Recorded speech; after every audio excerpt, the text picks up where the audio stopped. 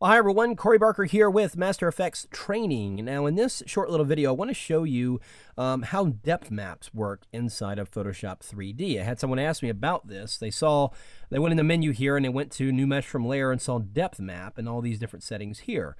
So I just want to give you an idea of what those are. Now basically, a depth map creates a three-dimensional object based on the light and dark areas of the layer. For instance, I'm going to go in here and grab my gradient tool and I've already got a, a gradient set up here, but I'm actually going to change some things here. I want to make this a more neutral gray. So I'm, what I'm doing is just making a simple black to gray, black to gray gradient here, as you can see right there. Now, when you create a depth map, it is going to look at, the, as I said, the tonal, um, the various tones of your image, and it's going to push elements back that are dark and then bring elements forward that are light. So for instance, here, these areas of black are going to get pushed back, and we're essentially creating a wave um, 3D object here. So I'm going to go ahead and click OK, and let's go ahead and draw the gradient on this image. Now I'm going to go ahead and create a new layer, and let's go ahead and just draw it across here. And there you can see I get that. Actually going to make those grays just a little bit darker, I think.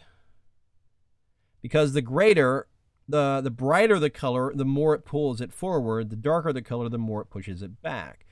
So we're just going to make those grays a little bit darker. There we go. And once again, I'm going to draw this across there. So we got those gradients going on there. So now I'm going to go to the 3D menu and go to New Mesh from Layer, Depth Map. Now you'll notice you have various uh, choices here. Plane, um, two-sided plane, solid extrusion, two-sided, you know, so I would encourage you to experiment with these, but the one we're going to use just to simply explain this is the plane uh, feature right here. So when I go ahead and choose that, it's going to look at the image and it's going to create that, as I said, that wave graphic or, or that wave 3D object based on those elements there. So as you can see right there is my wave, and you'll see that it's pushing forward the lighter areas and then pushing back the darker areas. That's how it generates the, uh, the depth there.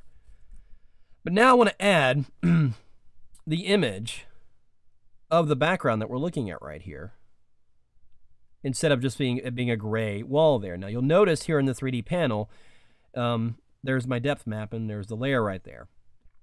So I'm going to go in here and uh, first let's go to that background layer, do a Command A, select all, and then Command C uh, to copy it to the clipboard. Then we'll go back to my 3D object. Now, because it was uh, created based on the same dimensions of this document, all I need to do is go in here into the diffuse property and choose edit texture. And you'll see there's that wave or that gradient. I'm going to paste the image in here, close it and save the changes. And there you can see, just going to fill the background with black here. There you can see that graphic element is now wrapped around that wave that we created there. So I'm actually going to move a little bit closer here. There we go. So now if I move it around, you can see it's got the um, default lighting on it, but now it's in 3D and has that really kind of cool um, look about it. So I'm actually going to rotate it around here. Let's actually get it to where the wave is kind of like right here. Because what I want to do,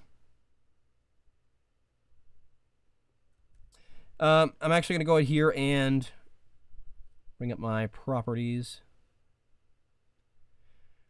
So I'm going to use the same information on the texture. Let's rotate my view so you can see a little bit more. So I'm going to use my information about that texture to create a bump map. So I'm going to go down here to the bump settings here and then go right in here and then we'll go down here and choose layer one which is that texture and you'll see it updates and now it's got that kind of rough texture to it. Now I had somebody else ask me about normals down here and this does something similar and we're actually going to get into that another time but I'm just using this case using a bump map and now you can see as it um, interacts with the lighting in the scene but now we've got a rather rough texture on that surface there so uh, as usual, I'm going to go and adjust my camera settings. Let's make it a little bit more dramatic. and I can move my lighting around if I want. I want to shine it on a particular part of the image. You can even, of course, add the realism of the depth of field. If I go ahead and do this, and then option click in the foreground element, or the foreground area and that puts the focus in the front area, and you'll notice it's a little blurrier as it gets further back there.